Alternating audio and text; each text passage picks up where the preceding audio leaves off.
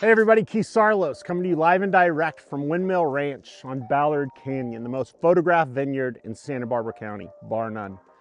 I am so proud of this place. When I was thinking about this allocation, we are featuring every single wine we grow here. This is where it all started. I realized we reached a milestone, a big one. We have now been farming for 25 years. We have been making wine for 20 and our tasting room has been open for 15. Some people, this is uh, your 15th year of being in our family, and I am grateful for you for supporting my family for 15 years because without you, we can't do this. Some people, this is their very first shipment. So, in honor of the 25th year, the 20th year of making wine, and the 15 years the tasting room has been open, I thought I'd bring it back to the very, very beginning.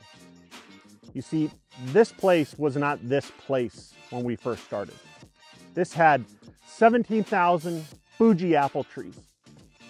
We farmed those Fuji apple trees for a full year. We had them all sold.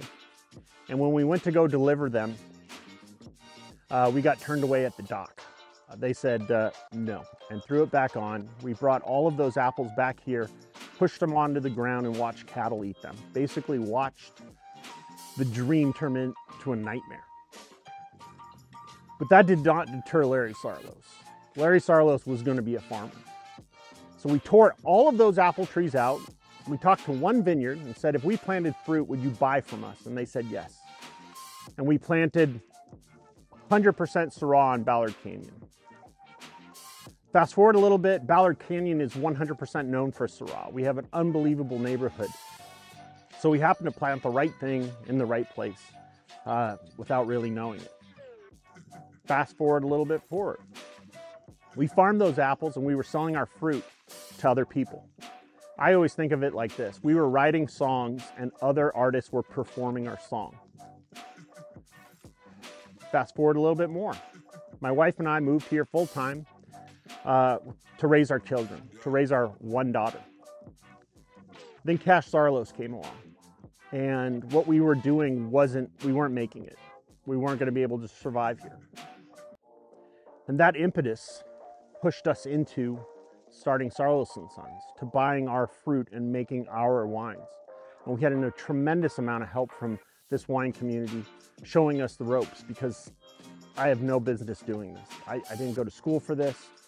Uh, it was just taking what we had and pushing it forward, taking my father's dream and pushing it forward to feed our kids. So, what you see behind you is a product of failure. It's a product of, of following your father's dream and pushing it forward at every turn.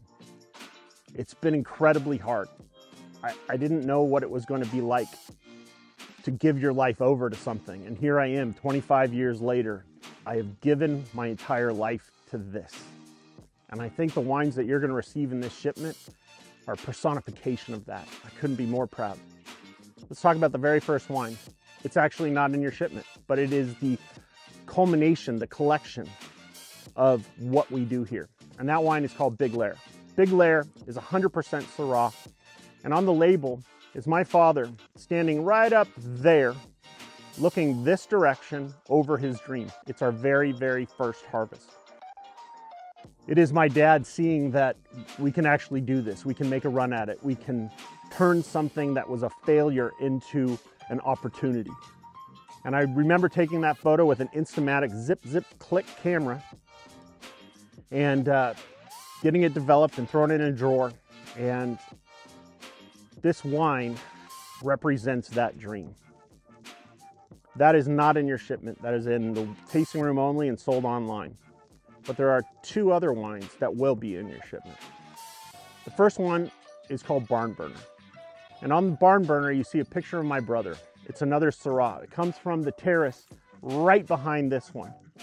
High hill, there's only a few rows, It, it, you have to actually back the tractor up the hill to get the fruit. It's an incredibly difficult place to farm, but it creates unbelievable fruit. The second Syrah in that shipment is called Man on Fire. And since I put the picture of my brother on a label, he said I have to be on a label too. So for our 25th anniversary of farming, I put my face on a label begrudgingly, and that wine is already completely sold out. Man on Fire, Barn Burner, and Big Lair are all Syrahs. They are the that is the very first fruit we have ever planted. That is what you see behind me. That is what we grow. That's where we cut our teeth on. That's what made the dream a reality. And each one of those Syrahs genetically is identical. Genetically identical. The, it's the same clone on from here, which we call our high hill, the Fat Man Terrace and the Little Boy Terrace. Exactly the same fruit, same DNA.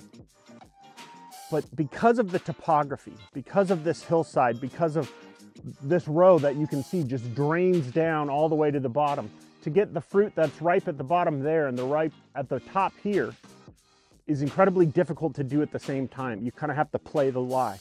Then when you get into this hillside, you got all of this draining in different directions and the sunlight hits it later in the afternoon, but the sun hits here first thing. On the Little Boy Terrace, it's blocked by this hillside, it's blocked from the wind, and it is incredibly steep. It's incredibly difficult to farm. Each one of those wines tastes totally different from each other. They are individuals, but they are come from the same stock. So when I think of my father, and then I think of my brother and I, very, very similar. My dad had two dreams. One was to do this, and the other was to be a professional baseball player. My brother chose professional baseball, and I chose this. So when you think of these two wines, it's two sons living out their father's dreams that have now become theirs. The personality is the same, the moral is the same, our compass points in the same direction, but even our stock is the same, but three totally different and unique personalities. I love these wines. I love opening them in kind of a, a, concert to see the differences between them. They're all beautiful in their own way, but they are absolutely individual. That term in France is called terroir. It means sense of place. It means this wine tastes like it's from here. That wine tastes like it's from there. And the little boy tastes like it's from there. It's not blended together. It's not hidden.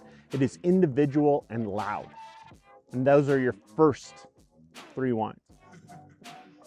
The second wine in this shipment comes from right over this hill. It's right where this Syrah touches now our Grenache. And on that label, you'll see a boy my son, who I am so proud of at 15. That Grenache used to be Syrah. Then we had a freeze that went through this whole canyon and we lost our entire crop, 20% of everything we grow in one night. We had a decision to make. We were selling fruit to other people. We called them and said, hey, if we had two varietals, would you buy that from us? And they said, yeah, absolutely. So we went in, we took that stock, that root that you see behind us, and we made this little slit in it, a little T. We scooped out a bud from a Grenache vine and slid it in and tied it tight. That way, when the sap comes up through the bottom, it hits that varietal, pushes it out, and it grows a brand new fruit. Grenache from Ballard Canyon. I see my son. My son, it came from the root stock of a Syrah, these hills, and now has its brand new fruit on that vine. Ballard Canyon is known for Syrah and Grenache, 100%. This is what we grow here. It's the perfect place to grow it, just like bringing my kids here was the perfect place to raise them. Syrah and Grenache, the father and the son, share two rows side by side. The Grenache is here because of the father, because of the first vine we planted, but in a new personality, in a new direction. There's another wine that's coming in another shipment, which is called Mischief. And that has a picture of Brady Saarloos on it, and it's from the other vineyard. It's the exact same fruit stock, grown in the same valley, two miles away from each other, two distinct and totally different personalities. Just like Cash growing up here in Southern California and Brady growing up in Texas. The same person, the same stock, two different, totally different personalities, and the wines taste totally different. Our final wine comes from right there, and it is Petit Verdot, and it is called Gunslinger. Petit Verdot is a phenomenal grape. It is usually hidden. It is usually blended into a wine to give it strength and give it color and give it flavor and give it taste. But I love Petit Verdot. And when we had the opportunity to graft, just like cutting in and putting that bud in, this hillside gets the very first light from the sun coming up and hitting it directly. And we can get it beautifully right. Petit Verdot is usually quite, quite a big, massive, scary wine. We had a tasting with our all of the staff the other day. We popped a bottle of it and it blew literally everyone else's minds. Everyone tasted it and they loved it. It, it is not big and scary. It is a kid with a pop gun. So that photo of Cash Saarloos that's taken on that label was taken at the Santa, Bar Santa Barbara Fiesta. My, uh, my whole family went down to watch my dad and my mom compete and my son brought his little pistols shooting them up in the air every time grandpa and grandma did great. And I love that photo of him because it, I can see the man he's going to become. You can see that little boy, that little approachable, beautiful kid growing up that you can see on Mayhem. 25 years ago, we failed. 25 years ago, this was Fuji apple trees. And I think many, many times that if the fruit was great, if they would have accepted our fruit on that very first shipment, this would most likely still be Fuji apple trees.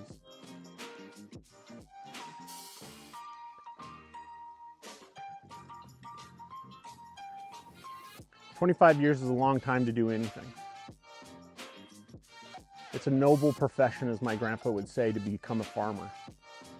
I am so grateful to each and every one of you that you have stuck with us for this last quarter of a century, that you have taken a, a huge risk on a very small family that has suffered failure and gotten up every single time and tried to do the very best thing it possibly can in the circumstances. So from Fuji apple trees to our 20th vintage of wine and our 15th year of our tasting room being open where you've walked through the doors and said yes to us and allowed us to make wines that are from our heart for our family so that we can do one and one thing only. So we can live to honor those that have come before us and to prepare the way for those yet to come. I'm incredibly grateful that I've given my life to a noble profession. Thank you so much.